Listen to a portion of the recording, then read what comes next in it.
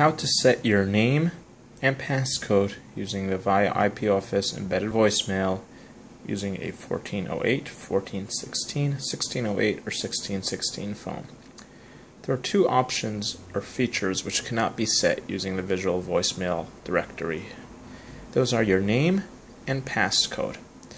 Your name is what's used for the dial by name directory. Until you record your name, you won't show up in the dial by name directory. This is slightly different than your greeting, which we showed earlier. There's also the passcode. Although you can change your passcode using the visual voicemail directory, you cannot initially set it. And until you set it, you won't be able to change it. In order to do this, we need to use the non-visual voice method. To access your mailbox using the non-visual voice, we have it set to star 17. You have While this is the default method, it can be different depending on your system. So please ask your system administrator if this, this does not work for your system. So when you press star 17, you have the system no will announce messages. how many messages you have. At this point, press star 05. To hear the recording, press 1. To change the recording, press 2. To save the recording, press 3. So first we're going to hear the recording. Message has not yet been recorded. To hear the recording, press 1. To change the recording, press 2. To save the recording, press 3.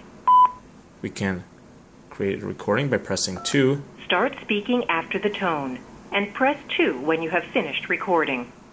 Test user. To hear the recording, press 1. And once we to done it, change the recording, listen press to it. 2. Test user. To hear the recording, press 1.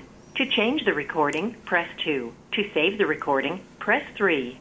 Now if you want to change it, you don't like it, you press 2. Or you can press 3 to submit. Until you submit it, it will not be saved. You can also need to set your passcode. To do that, you press star 17. You have no new messages. When it finishes playing the no new messages, you press star Enter 04. your current access code after the tone. If this press is the pound when you have finished. If this is the first time, you just hit the pound button. Now enter your new access code after the tone. Press mm. pound when you have finished. The system may, won't allow you to select 1234 or your extension number, but you could put in many other combinations. Another thing I believe you cannot enter is repeated digits, so you can't do something like 2222 or 1111. Now repeat your new access code Once you- after the tone. once you put Press it in- when you have finished. Once you put it in, you can it will require you to re-enter it to make sure you entered correctly the second time. Your access code has now been changed.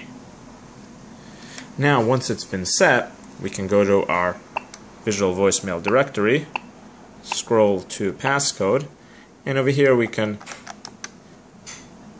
change it, and now we have a new pass. We can put in our new passcode and hit save.